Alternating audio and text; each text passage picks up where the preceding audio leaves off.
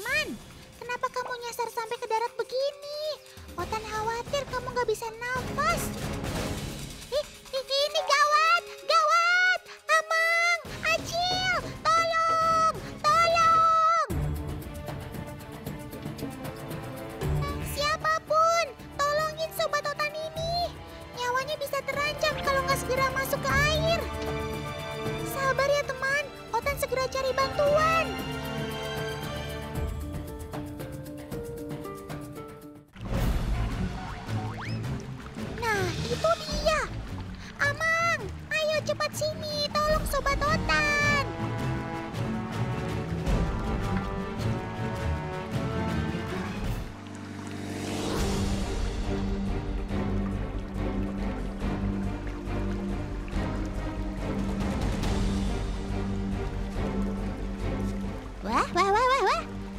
Berontak sih? Tenang dong Sob, jangan salah paham. Si paman ini mau nolongin kamu.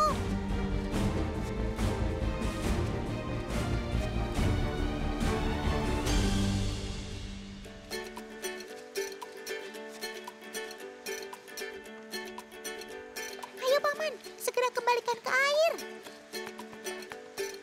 Huh, akhirnya kamu selamat. Otan jadi tenang deh. Terima kasih banyak, Amang. Teman, sekarang Otan lagi jalan-jalan di Balai Budidaya Air Tawar di Mandiangin, Kalimantan Selatan nih. Kita kenalan dengan sobat-sobat Otan yang ada di sini ya. Hmm, kita mulai dari yang nyasar ke darat tadi deh. Teman di rumah ada yang pernah lihat? Betul, namanya ikan papuyu alias ikan betok. Dijumpai di wilayah Asia Tenggara, Tiongkok sampai India. Ia menghuni perairan air tawar seperti sungai, persawahan, dan rawa-rawa. Sobat Totan ini jumlahnya masih cukup banyak di alam. Tapi karena permintaannya cukup tinggi, ikan papuyu pun mulai dibudidayakan. Cie, laris manis nih.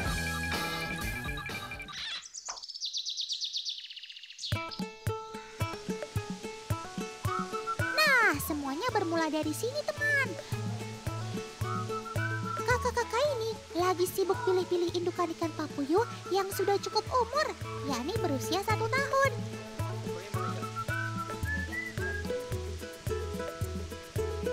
Meskipun sudah dewasa, ukuran mereka ya memang hanya segini.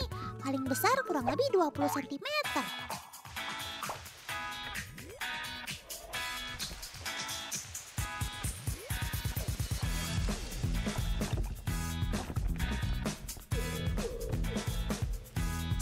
Selanjutnya, induk akan disuntik dengan hormon untuk mempercepat pematangan telur.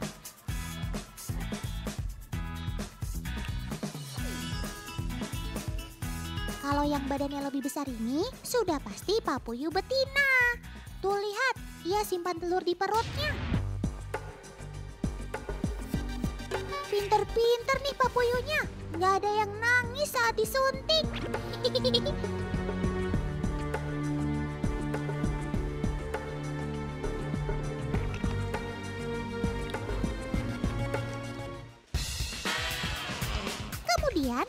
indukan ini dipindahkan ke dalam bak khusus. Perbandingan jumlah betina jantan adalah 4 banding 1. Nah, selanjutnya kita biarkan induk papuyu selama satu malam untuk memijah. Jangan diganggu ya.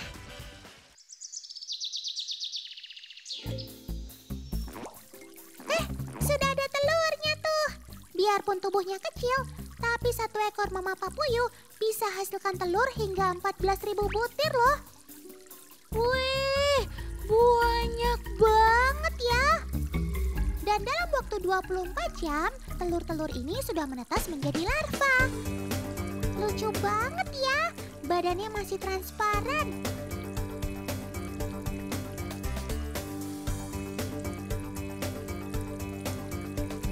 Kalau masih kecil seperti ini, belum diberi makan. Selamat datang ke dunia, dede-dede papuyu.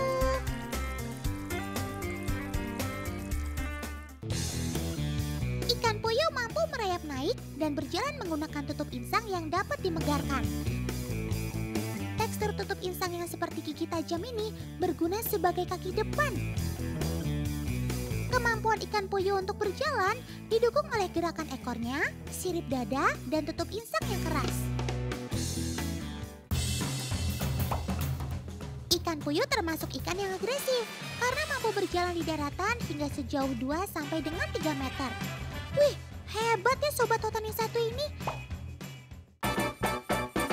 Selain itu, ikan puyuh juga memiliki kemampuan bernafas yang hebat, teman.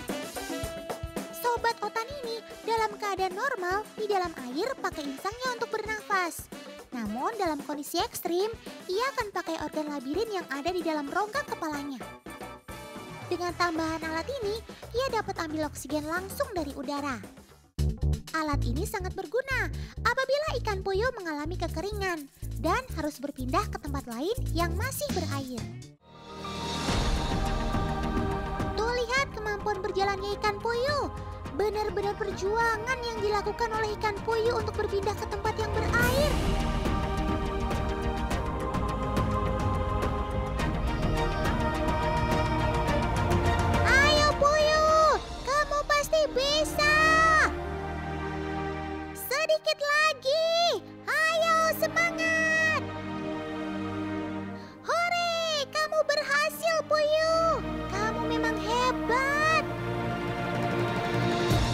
Seger banget pastinya si Puyuh. Sehabis berjuang penuh keringat, akhirnya berhasil mendapatkan air. Luar biasa. Otan jadi terharu sama perjuangan kamu.